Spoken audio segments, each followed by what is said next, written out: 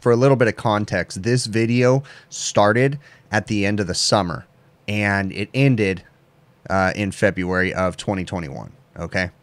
It'll make more sense when you guys watch the video. This video is brought to you by Sporlan quality, integrity, and tradition.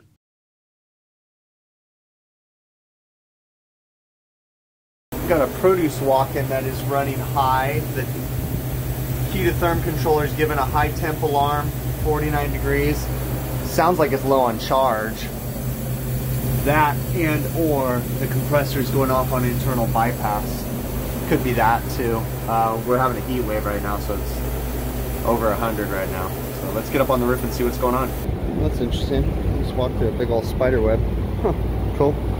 Well, I've done some work on this roof before. This equipment's over here.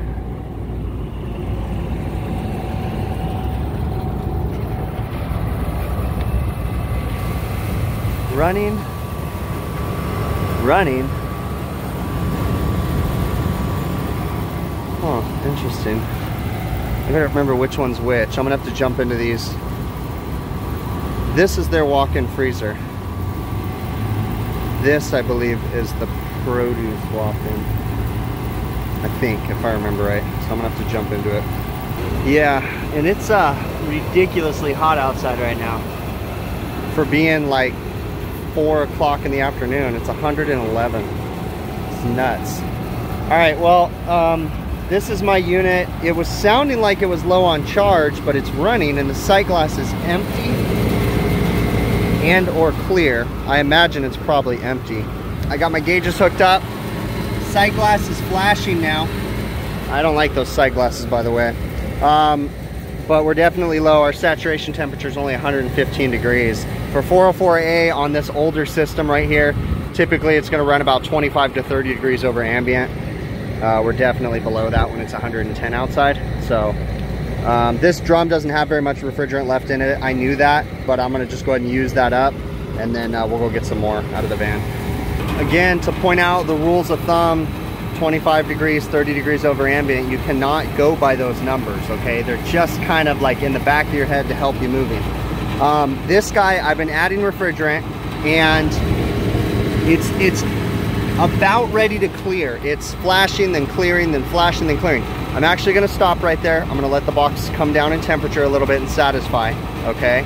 and then we are going to, if we need to, clear the sight glass. But it's also possible because it's like 60, 50 degrees in that box. Well, maybe it was like in the high 40s. But anyways, it's also possible to overcharge the system if the expansion valve's going crazy right now. So um, we want to just kind of let it stabilize out a little bit and we'll get closer to clearing it. But, you know, just because I said 25 to 30 degrees over ambient. That doesn't mean that's what you always charge to, okay? I assume this was an older unit that had, you know, lower SEER rating, or not SEER, but lower efficiency. Um, and it's not the case. This thing's looking like we're gonna be about 20 degrees over ambient, so. Dang condenser fan motor and blade or something's out of balance, and every once in a while the unit just starts vibrating like crazy. All right, we're gonna go downstairs and see if we can find a refrigerant leak. We're looking for obvious signs. I'm not doing anything crazy because we're already on overtime. It's like 4.40 in the afternoon or evening, early evening, whatever you wanna call it. So I'm just gonna get them operational. Uh, it's Friday night. We'll get them through the weekend and then come back out and do major, as long as it's not pissing out gas, we're gonna go look. What do you know? It's all quiet now. You don't hear that hissing sound anymore. It's coming down in temp. We're gonna open up this guy and look in here for a refrigerant leak. I don't see any major signs of oil.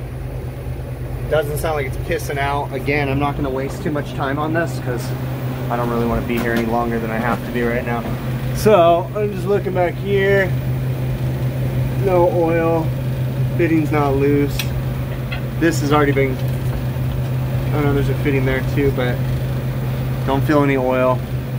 I wouldn't be the least bit surprised if the coil's leaking. All right, well that's all they're getting for today it's operational. I'll tell them to keep an eye on it. We'll come back and do a leak check when we're not on overtime. All right. Customer opted to go ahead and have the equipment replaced on this one. This is a uh, older 404A system, but this is one of those customers that's very proactive about changing their equipment. They also purchased their own equipment, so we've got a new one horsepower InteliGen system going in. So Uh, the process right now is I'm gonna get this guy pumped down. We'll do the uh, recovery down on the ground. We got a crane coming and you know, the whole shebang. So usually, this is my first use of the Testo 550S. Kind of small, but um, just pumped it down. This is one of those funky coal pack units. you guys ever worked on them, there's no king valve. You got to use the service valve. It's kind of silly. So you can't change the dryer unless you recover the charge. Um, pumped it down. We'll go ahead and get everything disconnected. I'll just shove my manifold in there and uh, we'll recover it on the ground. Although this one, because the ports are on the other side, I technically don't have to put my manifold in there. So maybe I'll just let my guy downstairs figure it out when he recovers. All right, we got everything prepped. Line sets cut, electricals disconnected. Um, we're currently taking the coil down. Uh, I don't know that the crane, we got a really small crane, so I don't know if it's gonna reach, but this unit's light enough. It's just a one horse unit, so we'll set it over there, lift it over here. I'm just waiting for my guy to come up here and help me lift this over there. Here's our new unit. We already got the covers pulled off. We're gonna end up redoing a section of line set. We're gonna reuse a small section so that way I don't have to re-penetrate the roof. But we're moving along. The line set's a little bit of a chore because camera is gonna be a pain in the butt for focusing. Come on, there you go. Um, it's, it's a far drop. That's a really far drop, but the line set comes over, goes up there. It, it's doable. Once you get up here, it's decent, but we had to bring a four foot ladder to be able to get down. So my line sets right here, we're still kind of working some things out. We still got to strap it and things too. So, um, but yeah, we're getting there. So we just left this small section right here, just where it comes down.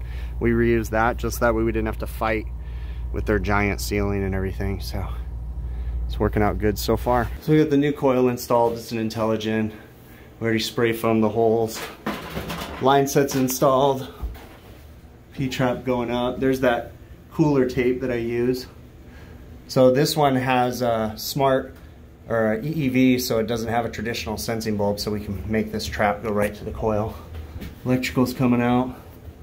We're just doing the uh, evacuation right now, and then we'll start it up. Uh, doing a one hose pull as far as the evacuation goes. 2600 microns, so we're getting there. It's gonna take some time. We're all cleaned up here, but uh, yeah, electrical's done. Just waiting. Line set, it's doing pretty good. I mean, it's not the work of art, but it'll work. All right, it's time to charge this guy. So we've uh, purged everything before I hooked it up. We're still in a vacuum. You can see the micro gauge is slowly climbing because I put a little um, refrigerant into the low side. So um, I front seated the receiver uh, that way all the refrigerant is going to dump into the receiver and go nowhere else. Uh, the system charge, the maximum charge for this system is nine pounds. So we're gonna go ahead and start with that nine pound charge and see where that gets us. It should be good. And uh, yeah, so we're already purged and zeroed out. I zeroed out the scale, so we're just gonna open up the high side and uh, dump it in right here. And we're just watching until it gets to nine pounds. All right, we are running now. Um, I'm just uh, charging the system. That glare is no joke. Um, we're at about seven pounds right now. So nine pounds is the max charge. That's what I like to do is put the max charge in here. Um, and this already has a short line set. So usually the max charge accounts for about 50 foot line set. Sometimes you have to add a little bit more once you go past 50 foot. But this one, I would say the line set's only 25 feet, 30 feet, somewhere in there. So we're almost there. All right, uh, gotta strap that line right there. Um, this thing is like super tight. They fit a lot of crap in that little box. But it's all installed, it's charged up. We're gonna go downstairs, check on the evap. It's gonna be a while before it's down to temp. But um, everything's good. All right, so we are up and running. Um, the thing's almost down to temperature already. It's a small little box, so it's 41 degrees in here right now. Coil's all in. You know, we'll, the foam will seep out and dry here in the next couple hours.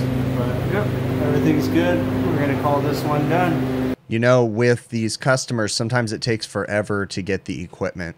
So this one started at the end of the summer, um, uh, gave the information to the customer, uh, it took them forever. They approved everything, but since the approval, I had to send another technician back out there to put refrigerant in it again and then we finally got the equipment here. Uh, we just installed it on February 24th was when we did the install. So um, nothing too crazy with the install. You know, as far as the line set goes, you know, I love replacing the entire line set, but this one there were a few factors that made it a little bit difficult. First off, uh, the customer had 12 foot ceilings. Okay, so their drop ceiling was 12 feet in the air. So we actually had to bring an extension ladder in the building to be able to get up on top of the walk in.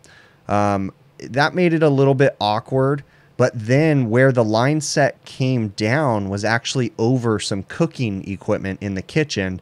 And it was just going to be awkward to run an entire new line set. Plus, on top of that, the uh, the original contractor that installed that equipment, they did not put like a, a roof penetration, like a normal roof penetration. It was literally just the roof material. You guys probably saw it a little bit in there. I mean, it was just going right through the roof material. Now, I had originally thought about taking the entire condensing unit and moving it like more over the walk-in, but that whole area, I don't know if you guys saw any of it in the video, that whole area was a low spot for the roof because that was the main roof drains. So I really didn't want to have to start leveling out the condensing unit. I could have done it had I been more prepared, but honestly, we quoted this job without even really spending too much time because I didn't expect them to replace the equipment. Originally, I thought we were just going to go in there, change a receiver, um, repair a refrigerant leak, and be done. Uh, but they jumped on top of it and went ahead and had us order everything, or had you know they went ahead and ordered everything. So I get this a lot too. You know, why do I let my customers order their own equipment? When you deal with certain chain restaurants, it, that's just how it is. That's just part of the game when you're doing restaurant refrigeration. Is is oftentimes certain chains will order their own equipment and you know you can do their work or you cannot do it i mean bottom line they're going to find someone that's going to do it so you know we still do okay with it um, but anyways as far as the installation goes you know nothing else crazy besides having to reuse that small section of line set. I'd say altogether maybe three feet of it. And i did look at it. I pulled the insulation off. There was nothing wrong with it so it was fine. Um, yeah everything else went really smooth. Um, InteliGen startup you know not a huge fan of the InteliGen for a few reasons. One of the things that bums me out about the Heatcraft InteliGen units is that they use the EEV as the solenoid valve, and if the coil loses power via someone shutting off a switch for the evaporator coil or something, the EEV does not shut and it continues to run and floods back to the compressor. Also, with the InteliGen or QRC or Beacon, any of those, they do not want you powering the evaporator coil with anything else uh, on that circuit already. So, for instance, this particular restaurant, um, the lighting for for whatever reason, the lighting for the walk-in freezer, which is the unit next to it, is ran off of the same breaker as this evaporator coil. Where, you know, yeah, that's not technically correct, but it's worked fine for 15 years, you know, or whatever. But now that we installed this uh, unit, I have to tell the customer they're going to have to get an electrician and he's going to have to separate those circuits. Uh, something about some sort of feedback issues that Heatcraft says happen. So I don't know, you know, but it is what it is. Um, it's not really going to be my responsibility to separate that electrical circuit. That'll be an electrician's thing, but he'll have fun getting on top of that box though, because that's kind of a chore. But hey, I really, really appreciate you guys making it to the end of this video. Um, keep in mind, I've got the new tool review channel. There'll be a link in the show notes of this video. It's called HVACR Tools.